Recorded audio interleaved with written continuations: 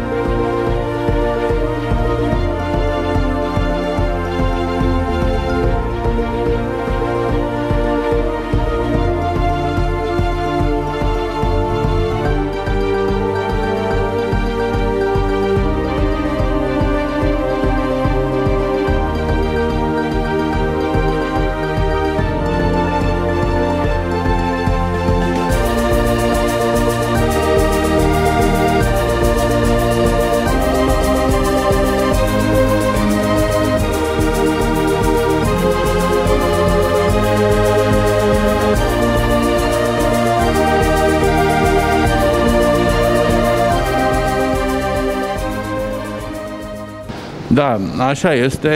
Din păcate trebuie să remarc și eu un lucru și anume că câțiva din autorii acestor lucrări minunate de aici ne-au părăsit, s-au dus la ceruri, un, un Gerasim, un, soția dânsului, Amalia Gerasim, un Miron Duca, sunt, sunt câțiva dintre cei care ne-au părăsit.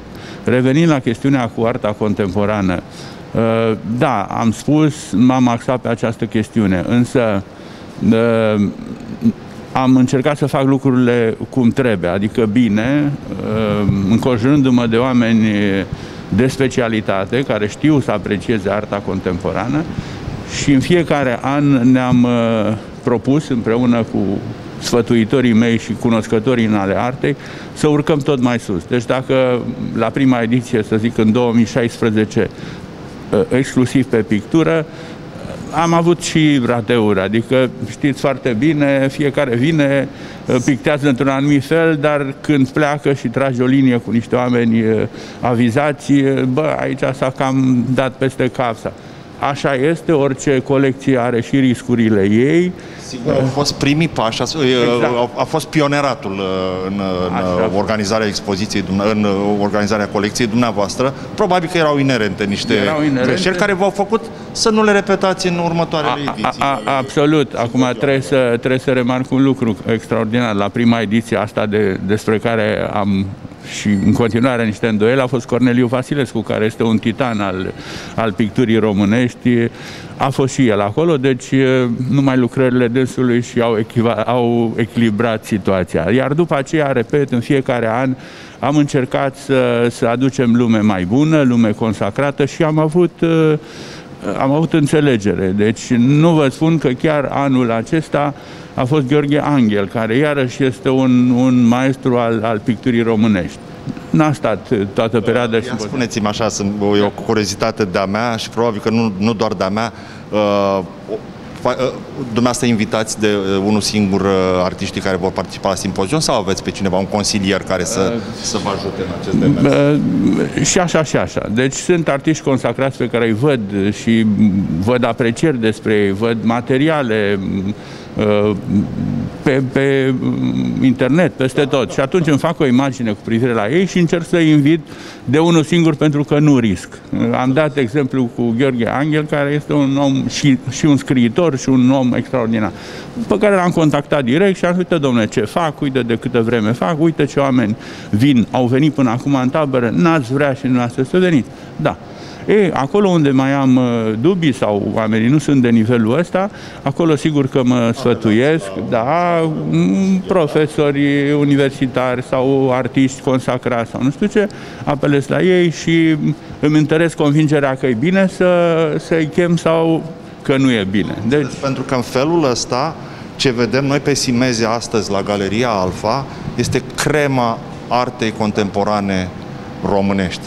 Și repet, este un mare serviciu pe care îl faceți atât artei contemporane, cât și artiștilor. Cei oamenii de lângă noi și cu care trebuie să ne mândrim. Eu unul sunt, sunt știți cât de, de mândru când uh, cunosc sau mă reîntâlnesc cu un uh, artist contemporan, că sunt contemporan în primul rând cu, cu dumnealui, că îl pot vedea la, la Chevalet. Uh, ați spus că au plecat deja dintre noi niște, niște mari nume. Uh, da. Ar trebui să, să, să ținem aproape pe toți cei care merită să, să reprezinte arta contemporană românească, da. atât timp cât îi mai avem printre noi. Absolut. Și să-i ținem și după ce nu-i mai avem exact. printre noi. Eu uh, am intenția să organizez o, o expoziție in memoriam, deci cu toți, 14 pe care eu am în colecție și care nu mai sunt, din păcate, așa cum am spus, și vreau să-i grupez și vreau să, să-i păstoresc în continuare câte zile o avea și eu, Uh, deci continuitatea asta să meargă. Acești oameni care nu mai sunt au urmași, aceștia se bucură la fiecare apariție a celui care se află în colecție și e un lucru absolut uh, extraordinar. extraordinar pentru că uh, mersul lucrurilor ne învață că artiști mari au intrat în uitare pentru că n-au mai fost uh, prezentați, reprezentați, uh, Uh, s-a așternut așa parcă un val de, de, de umbră, de uitare. De... Ați spus un lucru extraordinar uh, vis-a-vis -vis de prezența lor în, în, în simpozioanele de la Herman. Uh, pe lângă faptul că pictează, ceea ce este cel mai important și este scopul uh, acestor simpozioane, nu trebuie să ne ascundem după deget, dar uh, ei au prilejul să se întâlnească. Poate poate nu s-au întâlnit niciodată, artiști de mare valoare. Sigur că ei mai au hachițele lor, mai au, dar la ce nivel de... La ce, absolut. Am început să... însele niște adevărate simpozioane. A, absolut nemaipomenit. De, despre artă, despre, dar și nu numai despre artă, despre viață, despre ce. Se leagă la un foc de tabără pe care facem în curte și la un pahar, că oameni suntem, niște legături în simpozionul următor. Acum sunt în situația în care mă roagă să vină. Nu se, nu se poate să venim și noi, așa dacă stăm două zile sau stăm undeva mai la dan.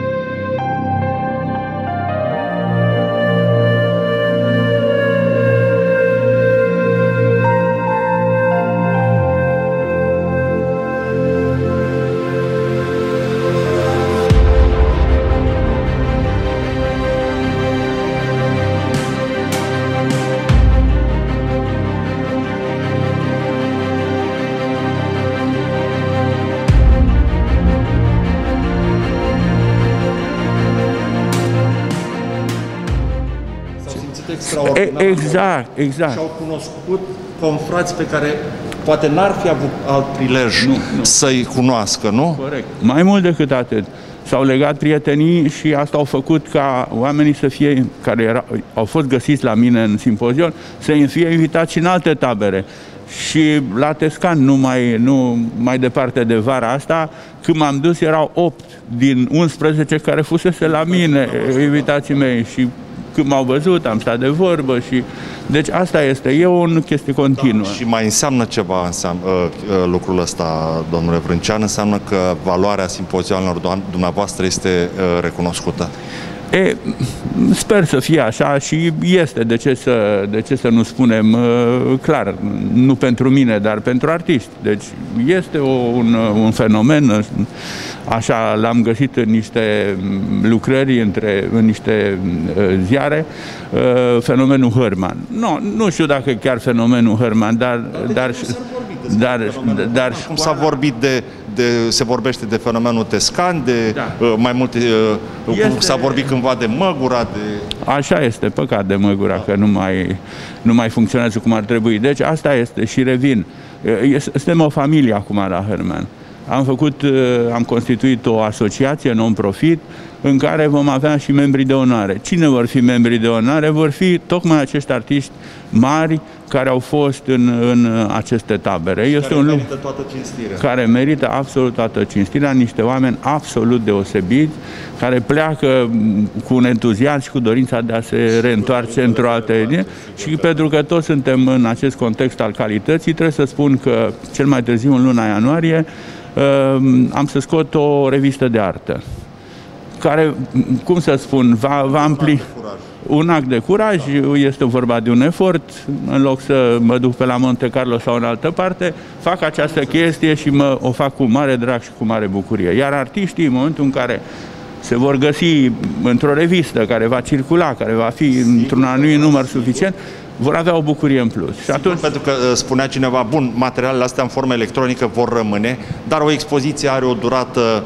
uh, relativ scurtă, nu? Uh, se strâng lucrările de pe simeze, dispare expoziția. O revistă sau un album rămân și circulă. Și atunci da, așa este. Sunt uh, cunoscuți într-un cerc mai larg. Până acum am mers pe varianta unor pliante, pentru că nu mi-am permis cataloge cu ocazia simpozioanelor, pentru că ar fi fost un efort financiar pe care nu-l puteam duce. Dar să vedeți și uh, încântarea când uh, luau cunoștință de acest pliant și dădea unul celălalt uh, să, să semneze, să ia un autograf pe lucrare și nu știu ce. Excepțional. Și astea sunt trăiri, nu sunt, nu sunt povești, că la valoarea și la vârsta lor nu sunt din astea să colecționeze cum colecționam noi, șervețele, timbre și alte chestii.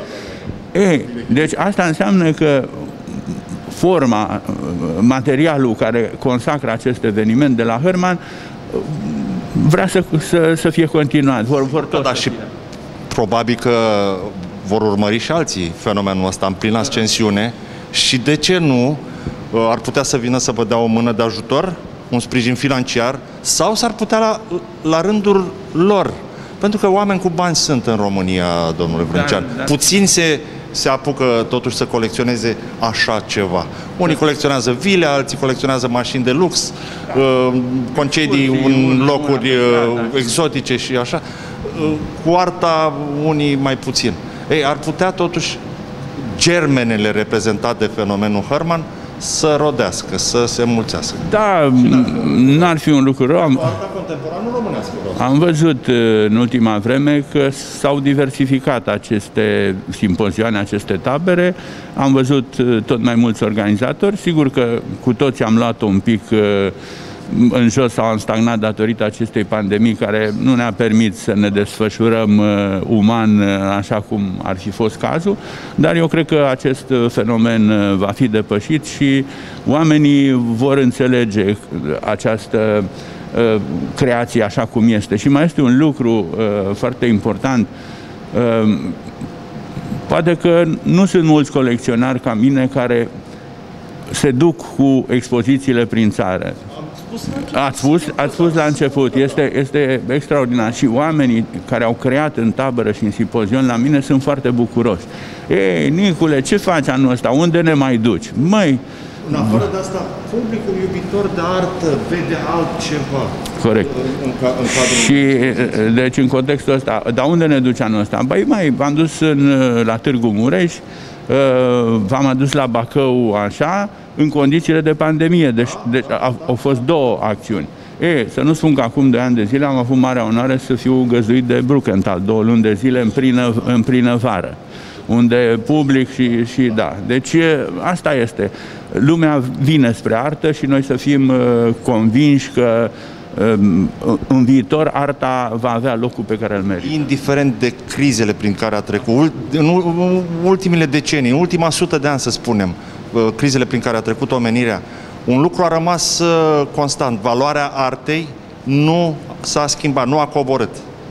Și probabil, și nu probabil, ci sigur că după ce vom, omenirea va stăpâni această pandemie, mulți oameni se vor gândi că uh, sunt multe chestii efemere în, uh, în uh, viața lor și atunci să se întoarcă cu da, privirile și cu sufletul spre artă. Să privească, să se bucure, să încerce să, să înțeleagă, pentru că am avut și reacții. Să cumpere artă contemporană, pentru că este minunat. Ar fi, ar fi, ajuți pe, pe ar, fi, ar fi cu atât uh, mai bine și eu sunt dispus să-i ajut în sensul de a le recomanda artiști care au fost pe la mine prin simpozioane, artiști consacrați, și mm, eu zic că mm, va conta cuvântul meu în sensul că, băi, uite, Nicu mi-a zis că ar fi bine să dau pe mâna lui câteva lucrări.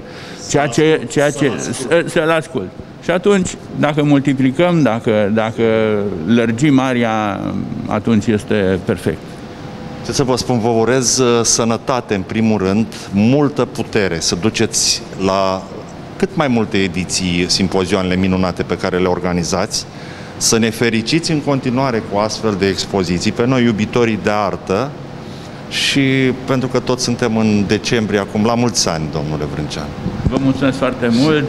Eu Vă felicit și pe dumneavoastră pentru ceea ce faceți, pentru că de la colegi am înțeles că aveți preocupare pentru această chestiune a artei și este un lucru extraordinar. Mulțumesc. Mulțumesc,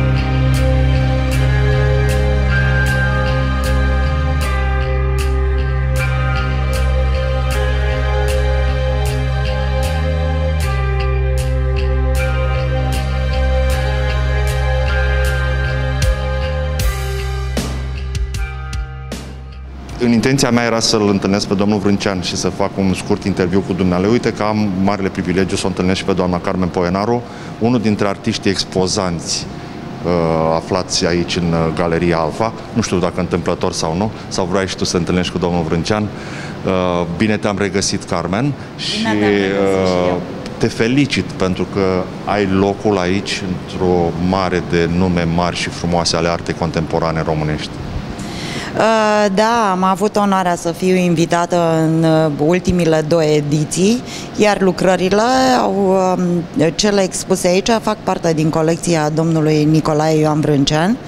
Uh, mă bucur că sunt prezent pe Simeze. Dânsul are mai multe lucrări de la mine, dar a ales ce a considerat mai reprezentativ. A, a ales bine? Din punctul tău de vedere?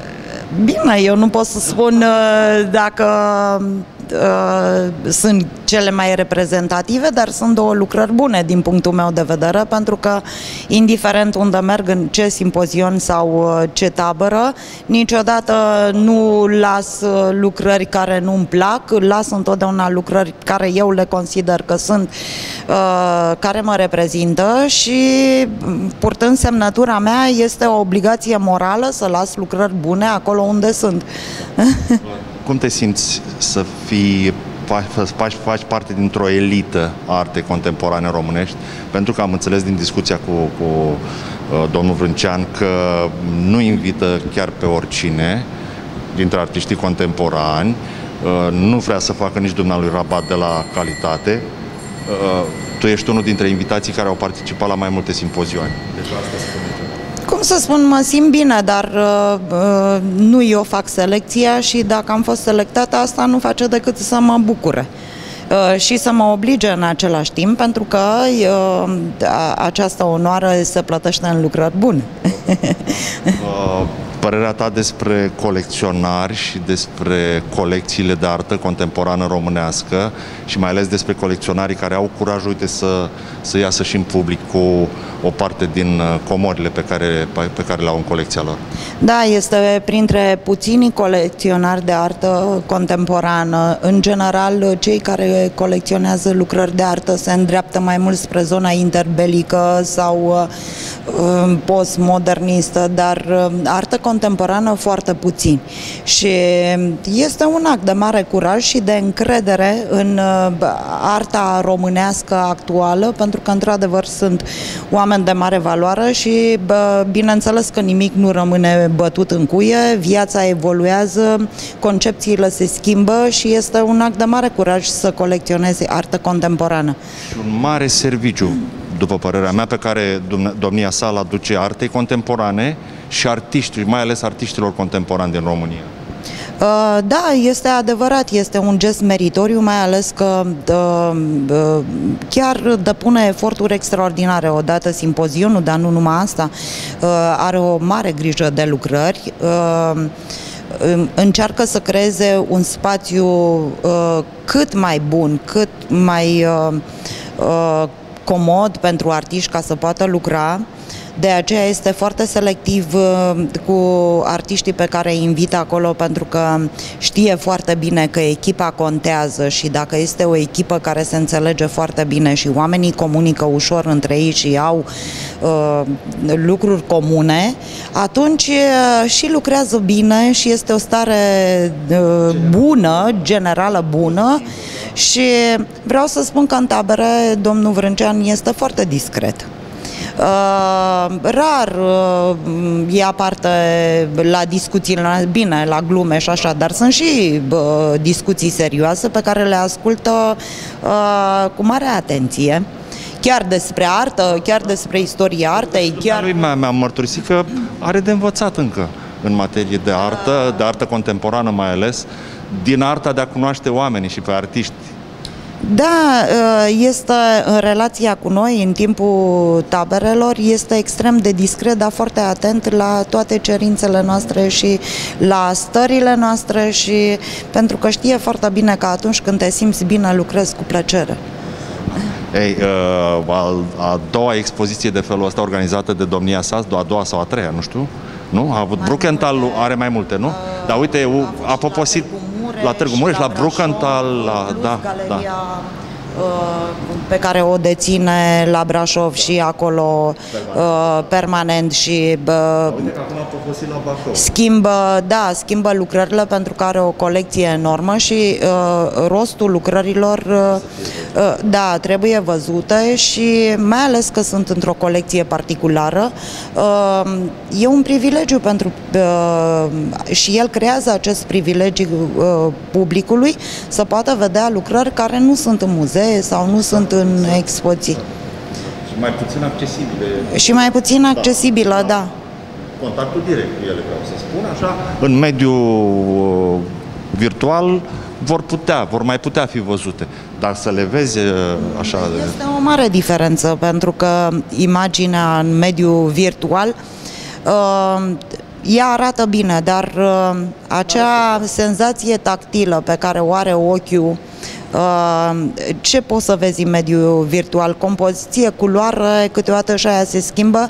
E, în momentul în care privești o lucrare pe viu, să-i spun așa, deja îi simți catifelarea sau textura sau um, părțile abrazive, care astea nu ies în imagine, într-o imagine. Da, sunt lucrări care au, uh, au miros. Uh, de ce zâmbeam? Că mi-am amintit că odată la o anuală, colegii mei, am colegi care sunt foarte pasionați de uh, rețetele vechi de preparare a pânzei. Și au făcut un experiment cu caseină. Bun, și-au pregătit pânzele pentru că are culoarea strălucire, că are corp, că are nu știu de care. Și când intrai în expoziție, mirosea brânză, de ziceai că suntem la stână. De asta am zâmbit, mi-am adus aminte că am deschis geamurile, nu mai știam ce să facem. Da, arătau foarte bine, nu? Ca de obicei ai un, un tonus uh, superlativ, uh, Carmen, bine, bine dispusă și bine dispui. Uh, îți urez, îți mulțumesc că ai acceptat să stăm un pic de vorbă. Îți urez putere, sănătate, la mulți ani, că uite, suntem la în luna lui La mulți ani tuturor și mulțumim domnului și Nicolae vreau să te, mai, să te mai rog uh, ceva, să-mi spui doar mie, așa, să n-audă nimeni uh, dintre cei care ne vor privi.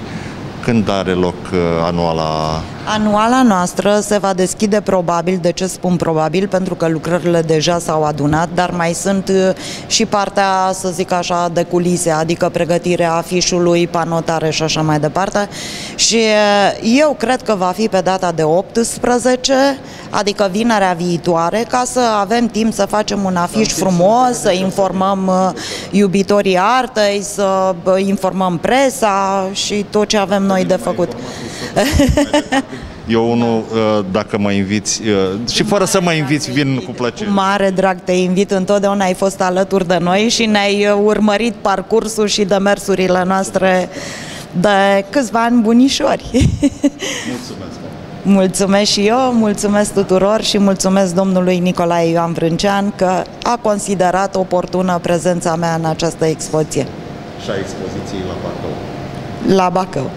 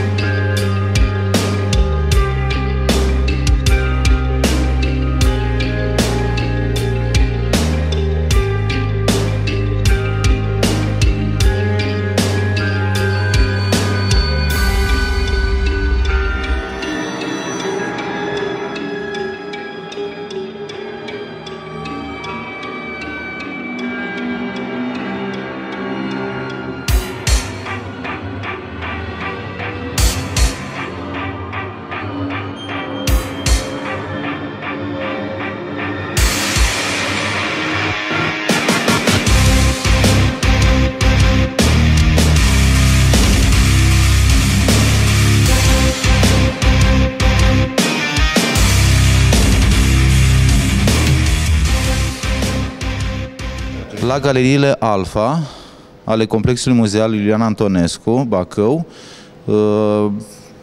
are loc o expoziție de anvergură, o expoziție cu lucrări ale artiștilor contemporani români, organizată de domnul avocat Vrâncean, uh, curatorul acestei expoziții și a simpozioanelor uh, organizate la Hărman, județul Brașov.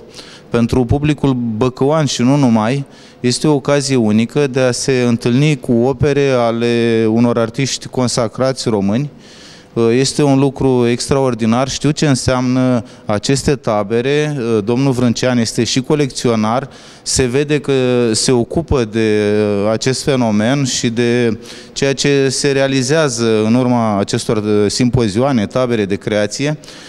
Văd lucrări înrămate de calitate. Omul le itinerează în galerii importante ale țării Repet, este o bucurie pentru noi de a ne întâlni cu arta contemporană, un eveniment unic și invit publicul iubitor de artă să nu piardă această ocazie frumoasă de a se întâlni cu ceea ce se practică în pictura românească și faptul că suntem așa la nivel și internațional cu fruntea sus, putem eu știu să fim la egalitate cu ceea ce se practică în lume, în arta plastică.